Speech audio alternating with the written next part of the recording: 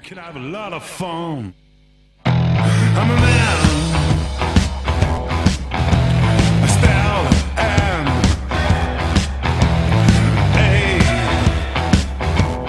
Hey guys, what's up? Welcome back to another Juice Moto Parts tutorial.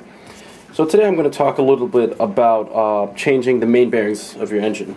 So there are four main bearings, right? Before I get into specifics of the bearings, I want to talk about how you can access them on your motorized bicycle engine. So what I have here is the crankcase assembly with everything basically removed except the bearings. Um, in order for you to get access to the crankcase, you obviously need to remove the upper engine assembly. Uh, see the see the descriptions um, for an article that I'll, I'll point you to to getting all those out. And then afterwards, there are eight bolts that you have to remove. There's one here, one here, one, two, three, underneath the clutch assembly. Uh, there's four here, five, six. Whoops, did I say eight? One, two, three, four, five, six. Yep, seven, eight. So there are eight bolts here. After that, um, you can pretty much peel the crankcase apart. So, in order to get these bearings out, I have a few methods uh, that I like to do. They're fairly easy once you have the right tools, of course. So I want to take your attention over here to my $20 arbor press from Harbor Freight. Excellent. Um, if you have access to an arbor press, that'll make things tons, tons easier. So what I like to do is, you, you know, you get a socket of some sort.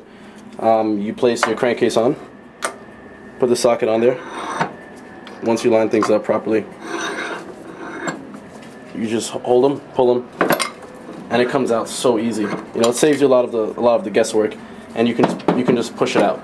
So that's um that's an easy way of of, uh, of getting all the bearings out, just using this arbor press and a socket. Um, however, not everyone is fortunate enough to have an arbor press. So what you could do as an alternative is um, you can use a rubber mallet, a socket, you know, put this on a wooden surface, put one of the crankcases. I- I'm not too fond of this method because it involves actually, you know, impacting the crankcase. You know, as you can end up cracking something, you know, or, you know, the metal could become fatigue of some sort, or become fatigued. So, use this method only if you really have no other other option. Sometimes these um, these bearings also are really stuck in place.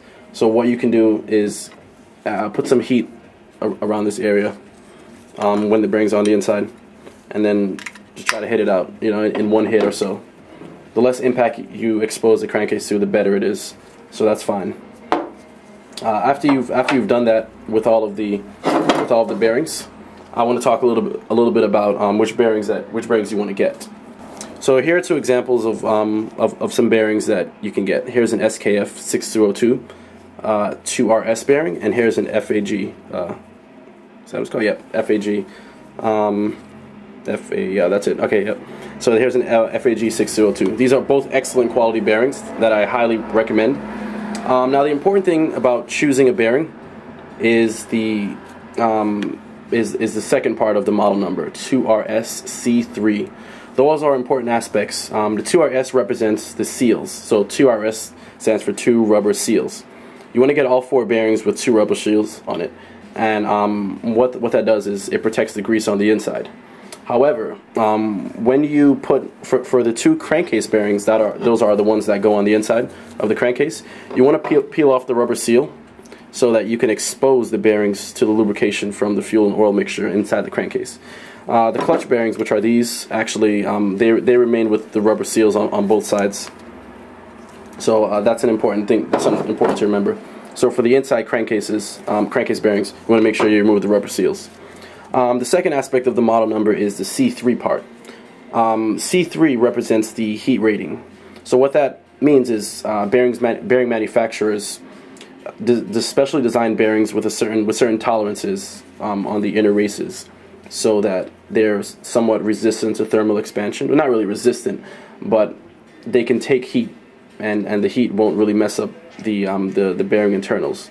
So it's it's specially designed for uh, for heat applications. So you you want a C3 uh, bearing design because you know you'll be you could be starting your engine up from a really cold environment and then it's going to go straight to hot. Traditional bearings um, they could work. I haven't really tried them yet, but it's just um, I've always tried the C3 bearings and they seem to work fine. It it just it's just that these bearings are specially designed to be in heat applications. So uh, look out for those. I'll also link those um, in the description, and we also have them at juicemotoparts.com. We have these bearings actually, the SKF 6202 2RS C3 bearings. Excellent. I've used them in a few rebuilds and they work perfectly fine. After you're done, um, you want to do the same thing again. You can either use your arbor press, and after you've used your arbor press, you just do the same thing. got it over here, and one, two, three, you just press them in. It goes in, you know, smooth as butter. Boom. You know, you're ready to roll. Don't forget to pull off the seals. Or um, here's another method that actually works just fine. And what you do is you would put one of these crankcases inside of an oven around 300 350 degrees. And after you've done that um, the, the, heat from the oven causes the entire crankcase to, to expand by such a small amount. Um, while that's happening you put a bearing inside the freezer. What that does is the really sub you know the cold temperatures causes the bearing dimensions to shrink just by just a tidbit. And then after you take out your crankcase from the oven at 350 degrees you take your bearing and you can just drop it right in, or even with min- with minimal effort, you know, just tap it in. So those um, subjecting the crankcase to to a hot environment and you know cooling down the bearing, you know, the bearing shrinks from the cold, the crankcase expands from the heat, and it just slips right in. And when the temperature gradients equalize out, you get that nice snug fit, and that's what you're looking for. And uh, you know, you could sometimes it still may be a, a bit hard, but it's definitely t- it's definitely a lot a lot easier. So as long as you can get the bearing cool, really cold, and the crankcase hot, you can just kind of slip things in into place, and that that helps out a lot. Um, after you're done, you install your crankshaft, and you install all the bolts. And at the end, what it should look like is like this. Here's a fully assembled bottom end. That's the crankcase on the bottom. This one actually has 6202 um, SKF bearings installed, and you, will notice a huge difference in vibrations um, smoother, there's no vibrations. And you'll notice things, um, the engine will probably run, you know, a hell of a lot smoother.